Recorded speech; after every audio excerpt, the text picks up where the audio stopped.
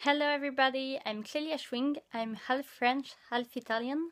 Currently I'm based in Paris and working in the tourism industry. I'm really eager to meet you all and I'm sure we're gonna have an amazing year together. See you in September!